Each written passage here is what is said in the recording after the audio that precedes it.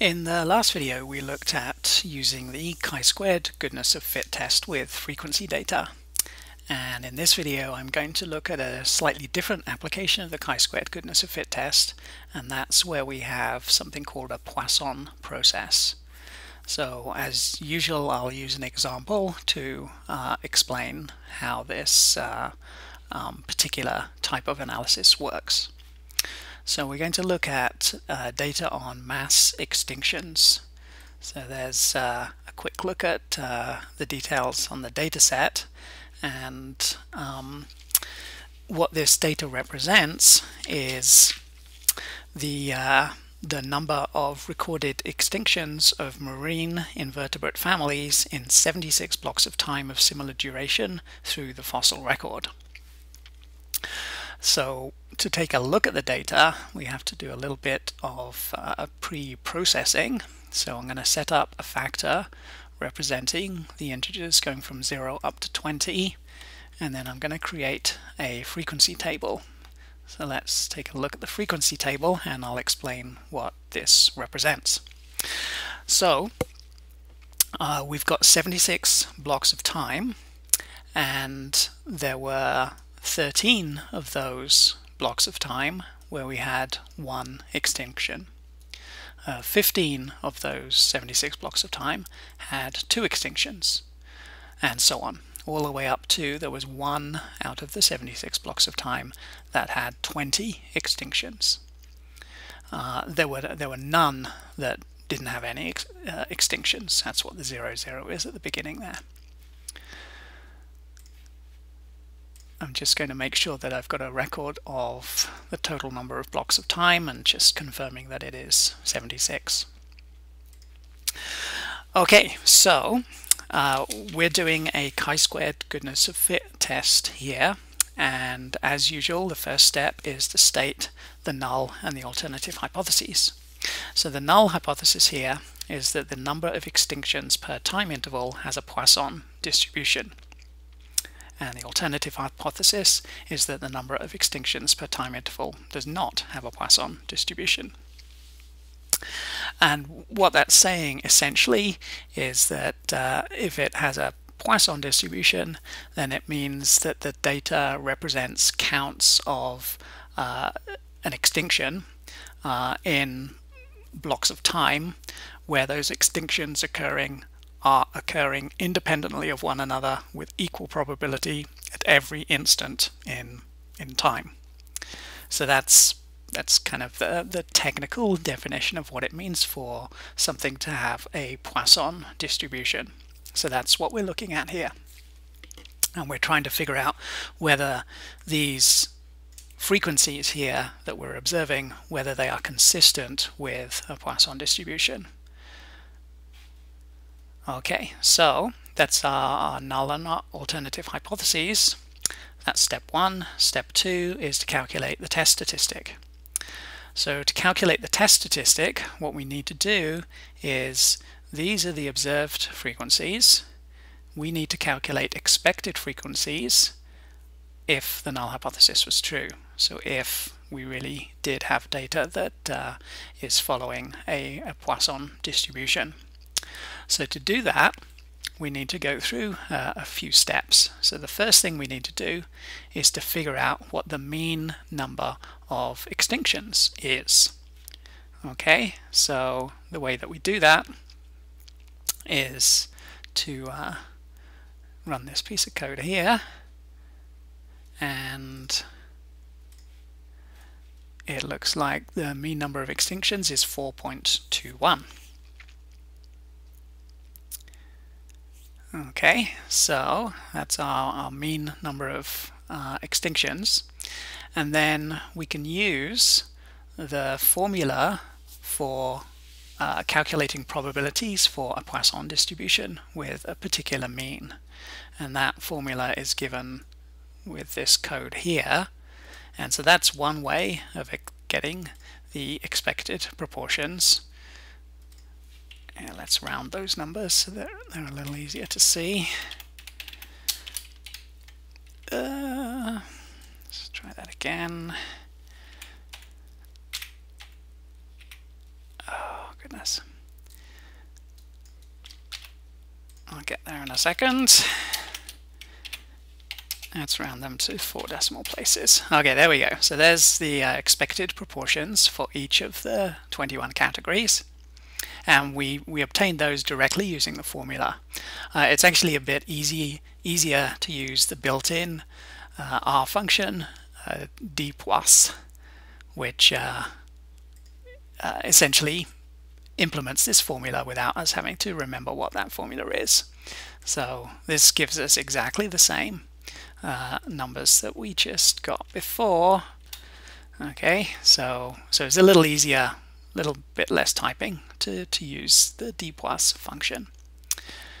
And then, so we have our expected proportions. So to get our expected frequencies, just multiply those proportions by um, 76. Okay, so here's our expected frequencies. again, let's uh, round these so that we don't have all that uh, ugly scientific notation. There we go. Okay, so uh, let's, let's have a quick look at uh, a histogram for what that looks like. So there's a histogram of our expected frequencies. Um, and then uh, there's just a uh, no, actually, sorry, I, I misspeak. This is a histogram of our data. Okay, so if we remember our data was this table here, 0, 13, 15, 16, and so on. So the bars are the data. This line is the Poisson expected uh, proportions. And so what we're what we're doing here essentially is sorry for all this scrolling uh, get one to get back to where I was uh, what we're doing with this test is we're essentially saying uh, does it seem plausible that this data that we see in the bars could have come from this Poisson distribution okay and I think just kind of eyeballing it I would probably say no. um, those bars don't really match up with the curve very well. There's, there's, they're, they're too high here and then too low here. And, uh, and these, these ones up here, they're kind of almost like outliers. So um, I, I would guess we're going to end up with rejecting the null hypothesis in this case and concluding that this data doesn't really look like it comes from a Poisson distribution. Uh, but we need to do the test formally to actually um, come up with a, an accurate assessment of, of that. Okay, so uh, next step is to look at a table of frequencies. So let's do that. And again, we've got those that awkward uh, scientific notation. So let's um, let's round things. Extinct frequency. Uh, how many decimal places? Let's go four. Uh, what did I do? I must have spelt something wrong. Yes, I did. There we go. Okay, so that's a little easier to see. So this is a table where I've got my observed frequencies for each category in this column, and then I've got my expected frequencies uh, if the null hypothesis is true, if we really are uh, looking at Poisson data here. And uh, I just showed you how those expected frequencies were calculated up here using the, uh, uh, the, the formula for a Poisson distribution and then just multiplying the, the probabilities by, or the proportions by the sample size. Okay, so uh, at this point we might go, okay, we're in the same situation as we were in the last video. Let's just use a chi-squared goodness of fit test. Uh, but, hang on, we've got assumptions that go along with that test. And uh, the assumptions are that none of the categories should have an expected frequency less than 1. Um, uh oh All of those categories have expected frequencies less than 1. So right away we know that we are not satisfying the assumptions that would allow us to do a chi-squared goodness of fit test. Uh, the other assumption is that no more than one-fifth of the categories should have expected frequencies less than 5. Uh, so we've got a bunch that are less than 5. So all of these are less than 5, uh, as are these first two. So um, we've we've got way more than a fifth of the categories having expected frequencies less than 5. So we're some way from satisfying the assumptions. So how can we get around that? Well, what if we combined these two categories together?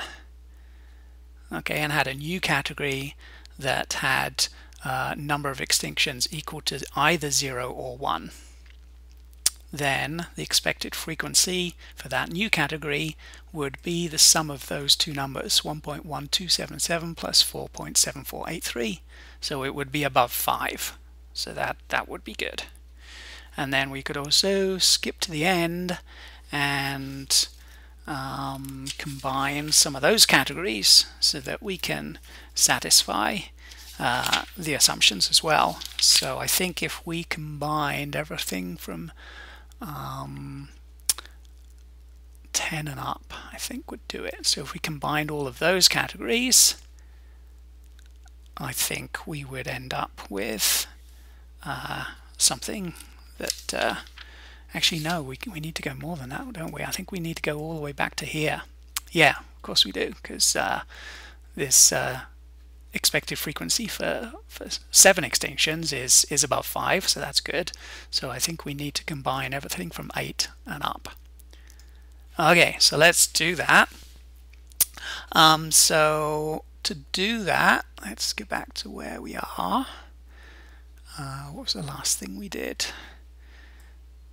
Uh, we looked at the yeah we we did this piece of code didn't we okay so we're at this step now so I'm saying let's create a new variable that groups the extinctions into fewer categories. So I've just kind of gone through uh, the idea here. So first category is going to be combining the first two, either zero extinctions or one extinction. And then the last category is going to be eight or more. And then everything else is just as it was before. Okay, so this piece of code here is going to do exactly what, what I want okay and then um, I need to uh, have a new pair of variables, one with the observed frequencies and one with the expected frequencies. And the way I'm going to get those numbers is I'm going to use this table and add things together. So 0 plus 13 is 13. So that's the observed frequency for the first category. And then 1.1277 plus 4.7483 comes to 5.876068. So that's the expected frequency for the first category. Okay, and then all these all these numbers here are, are, already in the table. So 15, 16, 7, 10, 4, 2. And then uh, where's the 9 coming from? The 9's coming from the sum of what I've highlighted in this column. So 1 plus 2 plus 1 plus 1 plus 1 plus 2 plus 1 comes to 9 and then 2.7630 plus 1.2926 plus 0.5443 and so on.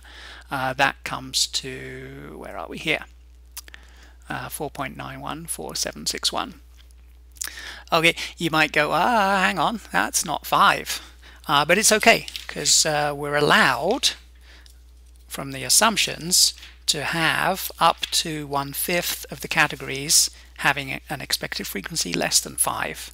Okay, as long as we don't have any categories less than 1, we're allowed to have up to a fifth of the categories have um, expected frequencies uh, between um, 1 and 5. Okay, so so uh, this would work. Okay, this grouping. Uh, when you're doing this kind of grouping, um, you, don't want to be totally arbitrary about things. Uh, you want to have some kind of biological justification for the grouping that you're doing. And so in this context, um, the argument that could be made is that uh, it makes sense to group time periods together uh, where we have either either no extinctions or one extinction. Uh, from a from a biological perspective, that's that's that that makes sense, and also uh, we it makes sense to think of a category as being eight or more extinctions in a particular time period. Um, so so always keep that in mind as well when you're doing this grouping.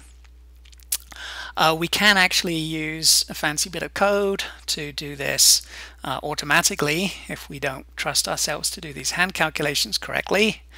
Um, uh, but I'm, I'm not going to dwell on that because cause this is kind of a pretty uh, complicated function so I'm not going to worry about that. But uh, if you're interested if if I did those two calculations uh, we, we get the same numbers that I just got.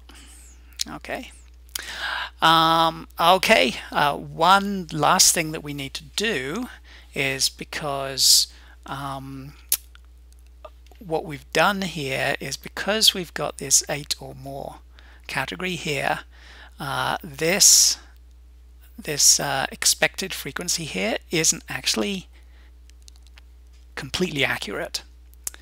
Okay, what we need to do is is instead of this as the expected frequency for the last category is we need to we need to have the sum of the expected frequencies be the same as the sum of the observed frequencies. And the sum of the observed frequencies as we mentioned earlier on is 76 so we need these numbers to add up to 76 and right now they don't. So to get the correct number for the last category is we need to add up the other numbers and then subtract that from 76. Okay, so that's what this bit of code is doing here. And then now, if I look at uh, the expected numbers, I mean, it was pretty close in this case. Uh, it's only off by uh, in, the, in that last decimal place there. Um, but to be accurate, you do need to, to, to do this, this step. Otherwise, you're going to be uh, slightly inaccurate and you want to be as accurate as you can possibly be whenever you're doing this kind of analysis. Okay, uh, so let's um, put these, uh, what we've just done all together in a single table so that now we can apply the chi-squared goodness of fit test to this table.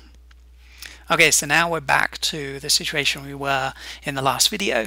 We just need to apply uh, the chi-squared goodness of fit test to this table of data. Okay, so I'm going to do that, and it uh, it's it's telling me, uh, it's warning me about something here. Don't worry about this warning. Uh, I think the reason it's coming up is because we did have one category here with an expected frequency less than 5. So uh, R has a, a, warning message that pops up uh, when that happens. And so uh, we can ignore it because we know we're allowed up to one-fifth of the categories to uh, have an expected frequency uh, less than 5. That's okay. Okay, so let's just have a quick look at the observed frequencies. Uh, these, these, this is the data. Uh, here's the expected frequencies again. And then here's the test statistic.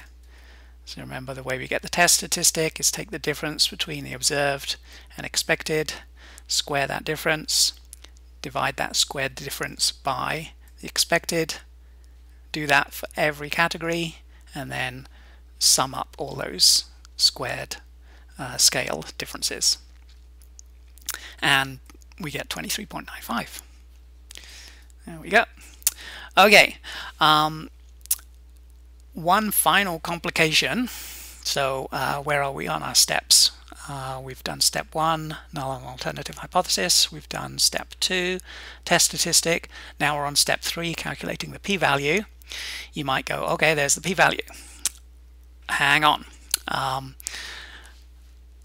R doesn't know that when we calculated these expected frequencies, we were using a chi-square distribution, sorry, a Poisson distribution, in which we had to estimate the mean.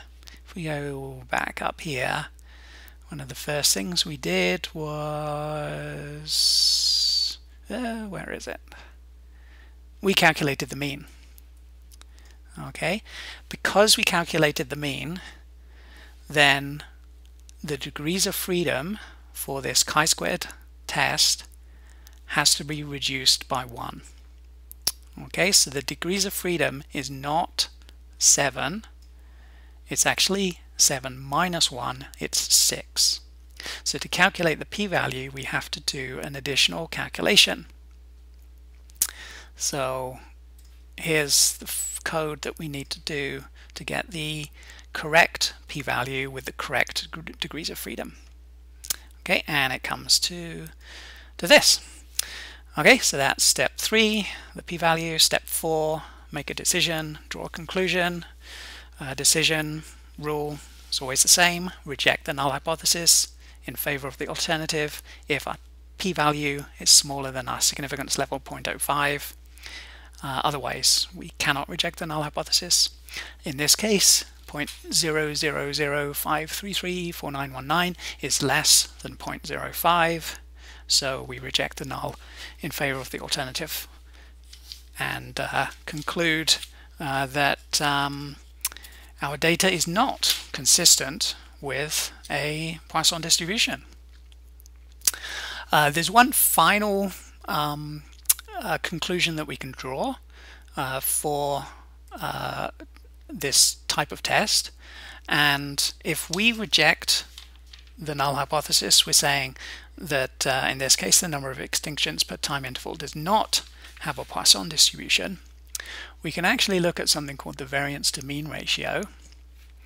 And if that variance to mean ratio is um, greater than 1,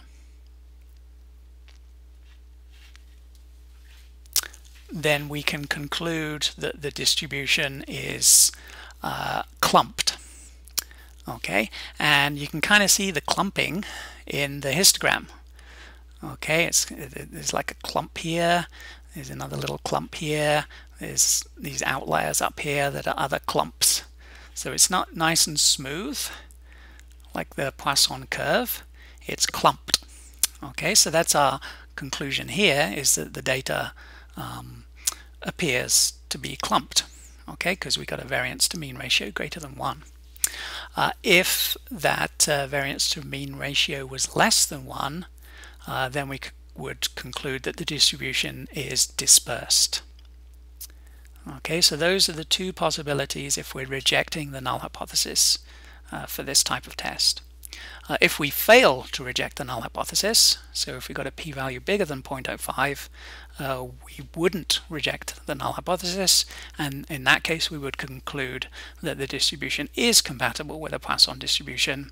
In other words, that uh, the um, extinctions in this case are random in time.